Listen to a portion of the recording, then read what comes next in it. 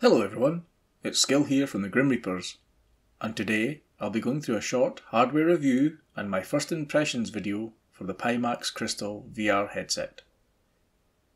For the purposes of full disclosure, Pimax sent me the Crystal for this review. They didn't ask for any favourable comments, only that I give my honest opinions and feedback. They also asked that I point out that although the hardware for the headset is pretty much the final version, the software is still going through testing versions. Whilst I give a little bit of an introduction to this video, I'll play some b-roll footage of one of my first flights in the Pimax in DCS. Now this is my first time trying to do a real-time recording whilst flying in VR, so I'm just recording the DCS mirror which was displayed on my monitor. It doesn't really show how amazing and immersive it is to be in the headset, but it gives you an idea where I'm looking. Just to give a little bit of background on what qualifications I have to carry out a review for a VR headset. I've been flying flight sims for over 30 years. I bought an Oculus Rift CV1 way back in October of 2017 and from that point I was hooked on VR for flight sims. After the Oculus CV1 I upgraded to the Oculus Rift S, then two years ago I upgraded again to the HP Reverb G2. That's an excellent headset, but a few weeks ago I purchased the Pico 4 to try out the aspheric lenses that everyone was on about. This will be my first experience with a Pimax headset, so we'll see how this goes. Anyway, after about 6 years experience of flying DCS in VR, as anyone else who uses VR knows, that is a long time spent tweaking settings trying to get the most out of whichever headset you're using. Before I go on, I will tell you what my system specs are so you can judge the relative performance of the Crystal later in the video. I am currently running an Intel i7 12700K with 64GB of system RAM and an RTX 4090 GPU. Lastly, and yes, I am going to get on with it eventually, this review will be solely based on my experiences so far with the Crystal using it for flight simulation, specifically in DCS although I do plan to make further videos regarding its use in other sims and other game types in the future. Okay, now that I've gotten all that out of the way, let's crack on with what you're here to watch. Before I get to the unboxing, let's look at some of the Pimax Crystal specs. I won't read through everything, but I will post up some images and point out some of the most notable features. QLED and mini LED panels with a display of 5760 by 2880 pixels glass lenses, which allow up to a 35 pixel per degree display, local dimming, eye tracking and auto IPD adjustment, inside out tracking. So unlike other Pimax headsets, no need for base stations, although you will be able to use them with an optional upgrade in the future. And last but not least, usable for PC VR and standalone. Okay, let's see what I got in the box.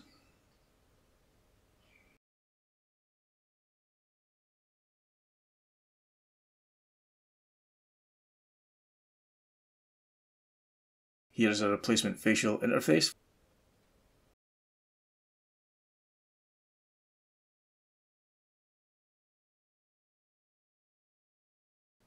One of the batteries held within the charging dock.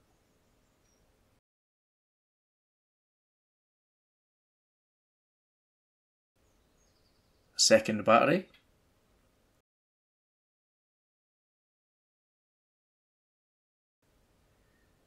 The headset itself, with the added foam protection for the head strap clip whilst in transport. I'll put the headset aside for now and come back and have a look at that later.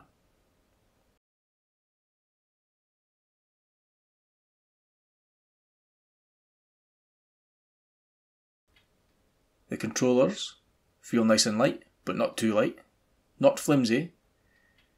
They seem to be of a kind of standard design these days, with the tracking rings over the top.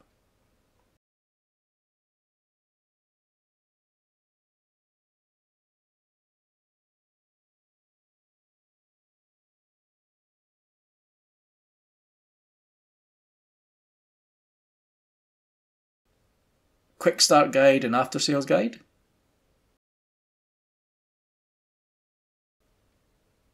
A box within a box, which contains all the cables and things.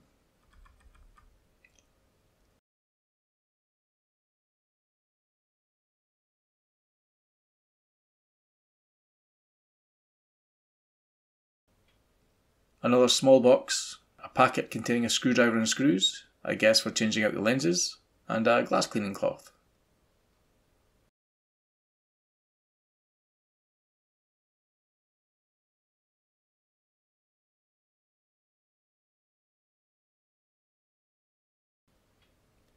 A powered USB hub that Pimax recommends using to increase the battery life of the headset.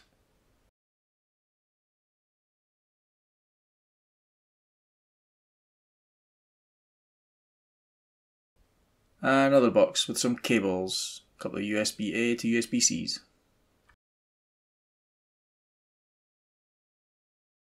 The headset itself. It feels really good to the touch and despite its size being larger than the headsets I've used in the past, it feels a lot lighter than I was expecting. And as you can see, this one has the added DMAS headphones attached.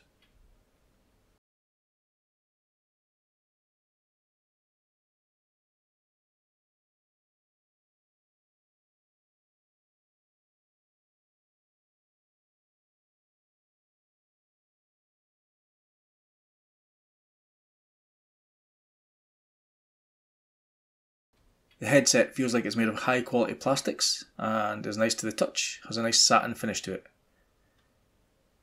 The head strap is uh, articulated and has plenty of movement, allowing you to adjust it so that it fits comfortably.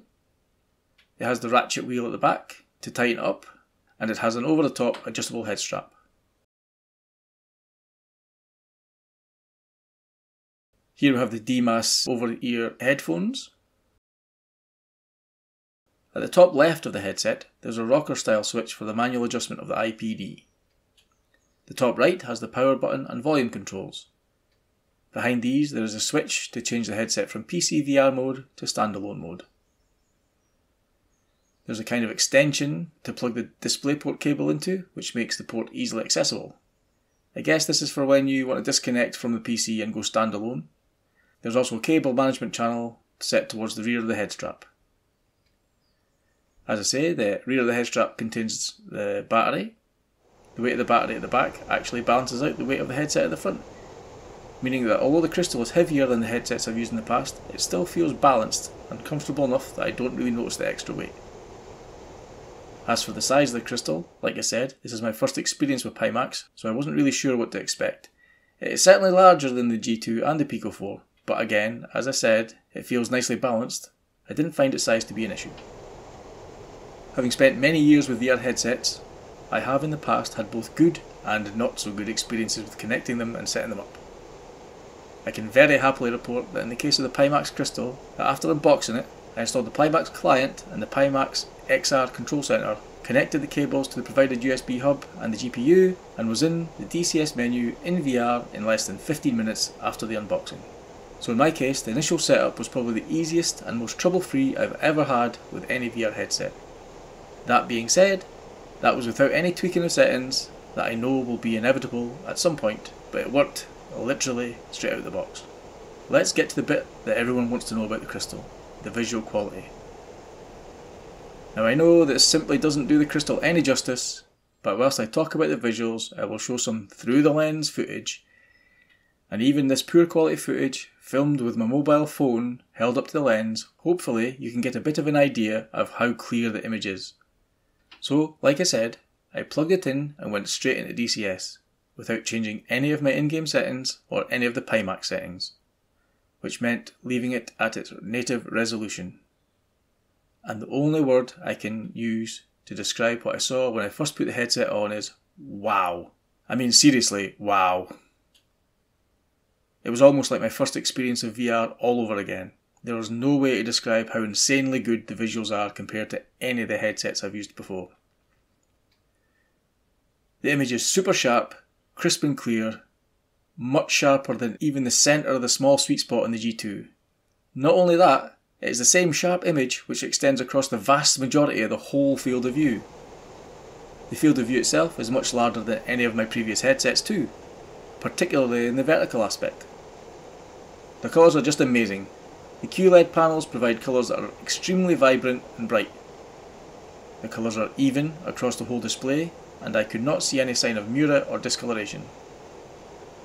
The local dimming means that the dark areas can be really dark, and the contrast between the dark and light areas is stunning. The display is even and without any distortion that I could see. If I try really really hard, I can just about make out the pixels, but in real terms, there is absolutely no screen door effect. And because the lenses are aspheric, there are none of the Fresnel lens God rays. Did I mention the clarity and sharpness of the image? Yeah, I did. But I want to be absolutely clear about this. This is by far and away the best VR image quality I have ever experienced. As I said, my Crystal has the DMAS headphones attached and the sound quality is brilliant. Certainly up there with the headphones on the Reverb G2 and much better than the piped audio out of the Rift S are the Pico 4. Okay, for the last section of this initial impressions video, I'll play some footage of a short dogfight I recorded. I recorded this once I had done a slight bit of tweaking by turning the crystal's render resolution from native to 75% and made sure that all of the motion smoothing was turned off. To be clear, even after turning the resolution to 75% to increase game performance, I can honestly say the image quality is still far better than any other headset I've used. Here are my in-game settings, which I haven't changed and are the same as I used for the G2 and Pico 4. As you can see, the frames are hanging around at the 90 mark with occasional spikes and dips. I'm not sure that the mirror recording is doing the crystal justice, as inside the headset things look mostly smooth. I appreciate that this is just a simple instant action mission, however I have flown one of our large multiplayer missions and the performance was excellent. I still have a lot more testing to do in larger missions, so I'll give updates on performance in future videos. if nothing else, the wee picture in picture of my head flailing about wildly whilst looking for bandits will show some of the non-VR users how much movement you need to do whilst flying in VR. You can also see that the headset stays firmly in place despite its size and weight. It's very well balanced thanks to the battery at the rear. This means that I find it comfortable to wear for flying 1, 2 or 3 hours at a time, no problem.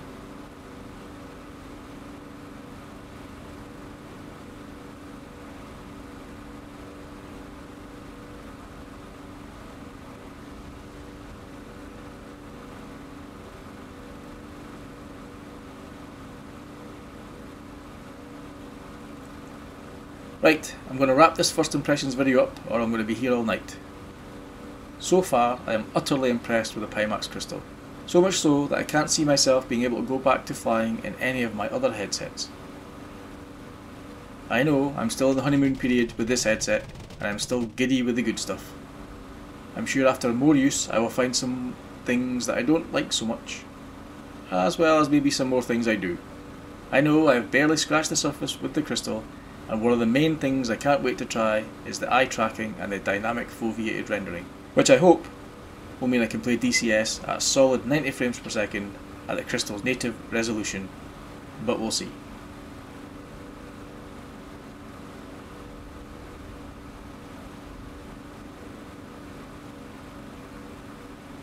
I will be back with more Pimax Crystal videos and a final verdict once I have dialed in some settings and hopefully get to show off some of its new features when I can use them.